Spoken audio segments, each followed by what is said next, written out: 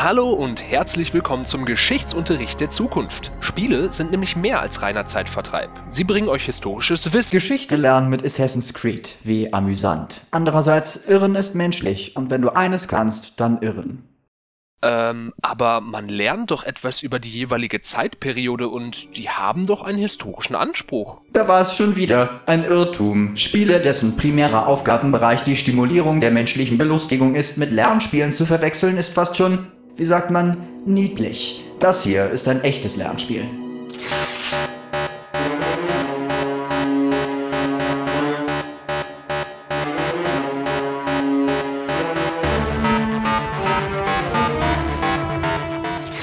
Okay, die Portal-Reihe ist natürlich ein deutlich besseres Lernbeispiel. Ganz recht. Hier hast du drei Testkammern, in denen du das beweisen kannst. Solltest du das schaffen, wartet eine Überraschung auf dich. Puh, okay, dann wollen wir mal. Geschichte in einem fiktiven und zurechtgebogenen Rahmen zu lernen ist schwer. Immerhin inszeniert ein Spiel wie eben Assassin's Creed historische Figuren im Hinblick auf die Handlung und nicht auf eine möglichst akkurate Darstellungsweise. Wenn ihr hier wirklich etwas mitnehmen wollt, dann müsst ihr euch schon aktiv für Einzelheiten interessieren, weswegen zahlreiche Kompendien zwar interessant sind, aber letztendlich denselben Lerneffekt wie ein Schulbuch haben. Ob ein Erkundungsmodus da mehr bewirkt, das bleibt spannend, aber eben auch fraglich. Es gibt da ja auch sowas wie ein Museum. Da Videospiele interaktiv sind, bietet sich deswegen vor allem ein ganz anderer Lernansatz an. Spiele können vor allem kognitive Fähigkeiten verbessern, also die der Wahrnehmung und Verarbeitung. Oh, meine Berechnungen sind abgeschlossen. Du hast bisher exakt eine Minute und 53 Sekunden. Damit verschwendet nicht zum Punkt zu kommen. Beeindruckend. Vielleicht bringt dich eine Sanktion dazu, mit den drei Tests zu beginnen. Aua!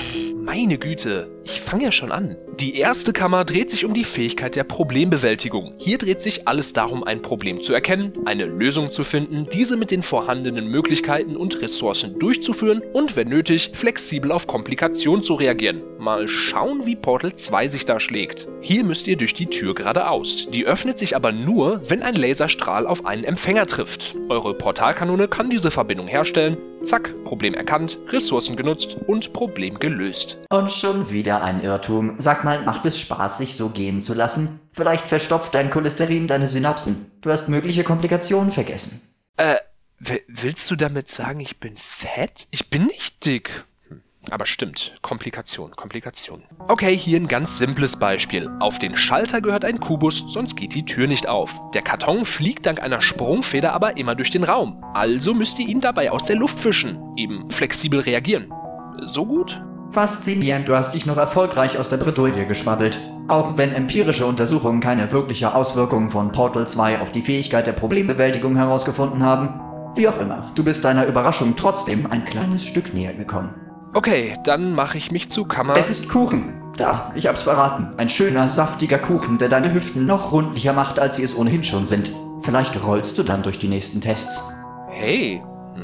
Naja, okay. Jetzt aber zur zweiten Kammer. Die handelt vom räumlichen Vorstellungsvermögen. Und hier trumpft Portal 2 so richtig auf. Sowohl auf kleinerer Ebene als auch auf größerer fördert das Spiel Denken im dreidimensionalen Raum. Dadurch, dass ihr ständig um die Ecke denken müsst, lernt ihr unbewusst und automatisch besser euch und eure Umgebung einzuschätzen. Wer so ein Manöver hier durchführt, der muss genau wissen, was er wo tut und wozu es führen kann. Und damit du gleich nicht wieder meckerst, dieser Effekt wurde tatsächlich in derselben Studie bestätigt. Die neuesten Ergebnisse deines Übermutindexes sind so astronomisch, dass es nicht mal mehr auf die Skala passt.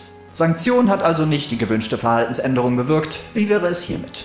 Ich glaube an dich, Fettsack. Dank, Dankeschön. Aber hey, ich bin nicht fett. Dieser Effekt verstärkt sich sogar mutmaßlich noch, wenn man den Koop-Modus nutzt. Immerhin sind hier auch die Rätsel deutlich komplexer, die Probleme schwieriger und ihr müsst den Raum noch besser einschätzen können. Okay, empirische Untersuchungen gibt's hierzu zwar nicht, aber... Toll, wie du einfach ohne Tests selbst etwas hinzufügen wolltest. Niemand hat jemals so schön etwas Blödes gesagt. Ich bin stolz auf dich. Okay. Kammer 3? Dein Versagen ist so unterhaltsam, ich kann es kaum abwarten. Kammer 3 also. Hier dreht sich alles um Beharrlichkeit, also nicht mehr um eine kognitive, sondern um eine zeitliche Fähigkeit. Spiele können das insbesondere gut fördern, da sie gleich mehrere Aspekte erfüllen. Zum einen geben sie direktes Feedback. Wenn ihr ein Rätsel knackt, dann öffnet sich eine Tür, ein Mechanismus springt an und es geht weiter. Gleichzeitig stimmt vor allem in der Portal-Reihe auch das negative Feedback. Wenn ihr aus Dutzenden von Metern herunterfallt, brecht ihr euch nicht gleich alle Knochen und könnt einfach weitermachen. Wenn ihr durch eine von vielen tödlichen Fallen dann doch mal sterbt, geht's ein paar Sekunden später weiter. Diese Tatsache sorgt dafür, dass ihr einmal angefangen auch bei einer Aufgabe bleibt, bis ihr sie erledigt habt. Das kann sich tatsächlich laut Studie auch außerhalb des Spiels in einer generell höheren Beharrlichkeit manifestieren. Lustig, ein Fleischberg überrascht mich. Wie abwegig. Du hast tatsächlich alles richtig. Und da hört Portal 2 noch lange nicht auf. Selbst im direkten Vergleich mit einem laut Herstellerangaben von Neurowissenschaftlern entwickelten Lernspiel, das gezielt dieselben Fähigkeiten und Fertigkeiten verbessern soll, schneidet Valves Knobelspiel besser ab. Danke, es reicht langsam. Du kannst jetzt aufhören. Ganz zu schweigen von dem ganzen Spaß, den man mit dem Spiel hat. Ihr erlebt eine herrlich abgedrehte Geschichte über eine verrückte KI Hey. und erlebt die Abgründe der wissenschaftlichen Experimente. Du solltest jetzt wirklich besser aufhören. Der Koop-Modus ist ebenfalls weit mehr als, nun ja, einfach nur mehr von Portal 2. Er macht unglaublich viel Spaß, ist in die restliche Handlung eingewoben und sorgt für solch herrlich lustigen Szenen. Und jetzt äh, fang mal einen Würfel auf oder sowas.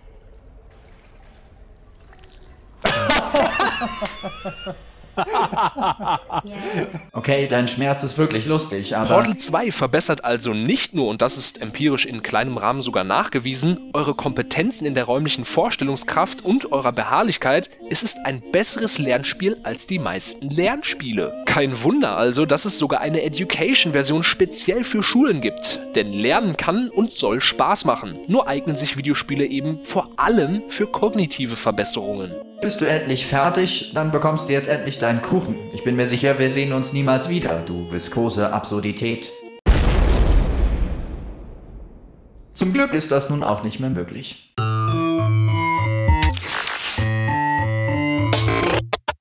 how we laughed and laughed.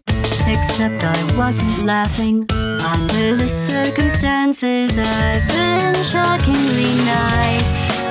You want your freedom.